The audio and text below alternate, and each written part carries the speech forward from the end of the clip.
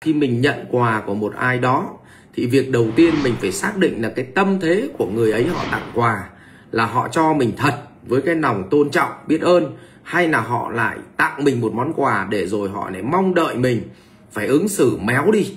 Và đó chính là những cái nguyên nhân mà con người không còn tâm không nữa.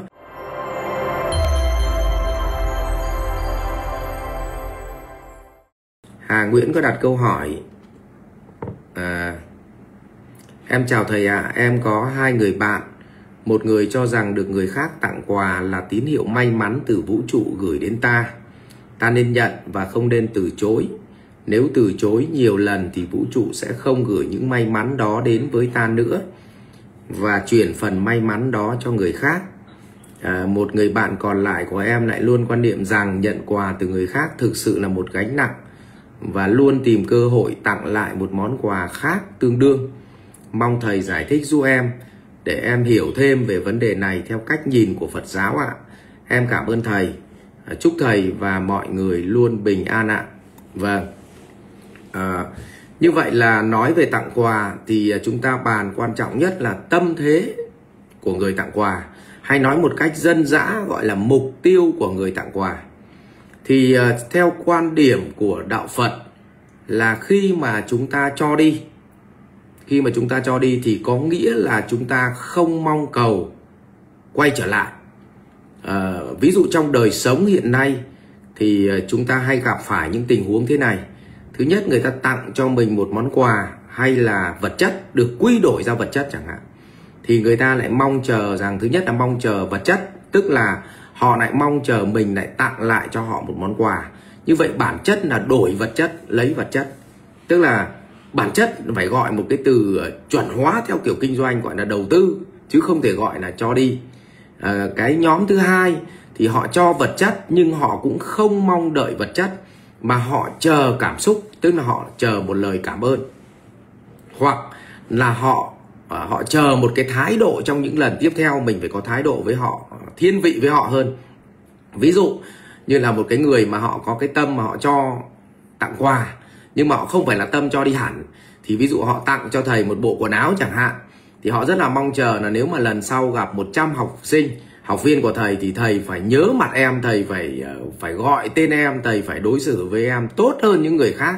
Thì bản chất là họ cho mình một ít quà nhưng họ lại mong chờ là nhận được lại sự tôn trọng, nhận được lại một lời cảm ơn, nhận được lại một cái thái độ mà tử tế hơn với họ so với những người khác thì như vậy là họ cũng làm cho mình bị méo đi cái cách ứng xử.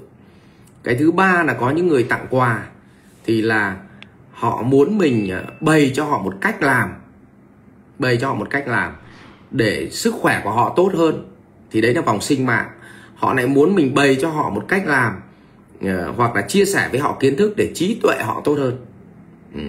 cũng có những người mà họ cho mình một món quà để đâu đó họ dạy cho mình cách tập cho đi. Thì cũng là một cái cách ở vòng nghiệp lực. Vậy thì vấn đề ở đây là hai bạn của bạn à, bạn nào cũng có quan điểm đúng. Không có ai sai hoàn toàn cả, nhưng quan trọng nhất là khi mình nhận quà của một ai đó, thì việc đầu tiên mình phải xác định là cái tâm thế của người ấy họ tặng quà là họ cho mình thật với cái lòng tôn trọng, biết ơn, hay là họ lại tặng mình một món quà để rồi họ lại mong đợi mình phải ứng xử méo đi và đó chính là những cái nguyên nhân mà con người không còn tâm không nữa. Tôi lấy ví dụ gặp hai học trò mà một học trò họ cho quà mình mà nó lại bắt mình là phải tập trung nói chuyện với nó nhiều hơn và để cho đối tượng kia ngồi không thì rõ ràng là nó đang làm nó đang đang cho mình mấy đồng bạc nhưng mà cuối cùng nó lại làm cho mình là méo cái tâm tử tế của mình đi và bắt đầu nó có thiên vị. Và à, như vậy thì cái điều đó khiến cho mình là mình phải biết lựa chọn. Vậy thì người ta cho quà với cái mục tiêu gì? Nếu cho quà chỉ đơn thuần là họ yêu quý mình mà họ cho đi họ không có đòi hỏi cái gì thì hãy nhận. Nhận như thế là với một cái tâm thế là làm cho người ta vui. Khi mình nhận như vậy thì sẽ làm cho người ta vui. Còn mình không nhận thì sẽ làm cho người ta bị tổn thương. Vì thực ra ờ, lòng họ là lòng thật. Họ đơn giản họ chỉ là muốn tri ân thôi. Và khi mà mình nhận một món quà đấy thì họ cảm thấy nhẹ lòng. Bởi vì uh, họ đã tri ân được uh, được một cái người mà họ cần tri ân thế còn nếu mà một người họ tặng quà mình họ giao cho mình ờ, một món quà nho nhỏ nhưng để rồi họ đổi lại họ làm cho mình bị méo hết cách ứng xử trong đời sống thì rõ ràng đó lại bị bị bị tổ phước của chính mình. Cho nên là uh, trong đạo Phật là cho đi mà Trịnh Công Sơn nói là để gió cuốn đi. Chứ còn nếu mà cho đi mà muốn nhận lại thì bản chất đó là đầu tư. Đấy.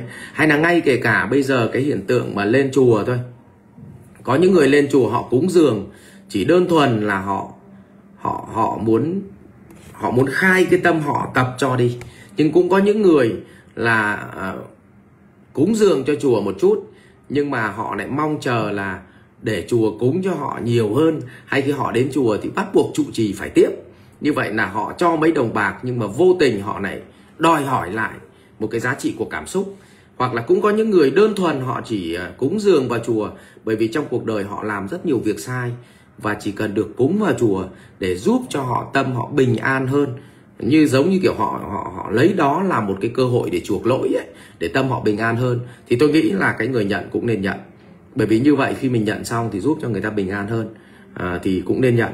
Tôi lấy ví dụ như vậy. Vậy thì bản chất cuối cùng của chúng ta nhận quà hay không nhận quà là nếu nhận quà mà giúp cho tâm người ta bình an hơn thì hãy nhận. Nhưng nếu nhận quà mà để cho tâm mình nó bấn loạn vì họ giao cho mình một việc thì không nên đấy, thì báo cáo cả nhà như vậy, rõ ràng hai người bạn của bạn là không có ai đúng, không có ai sai. Vấn đề là động cơ của người cho đi mà thôi. Rồi, xin trân trọng cảm ơn câu hỏi của của Hà Nguyễn.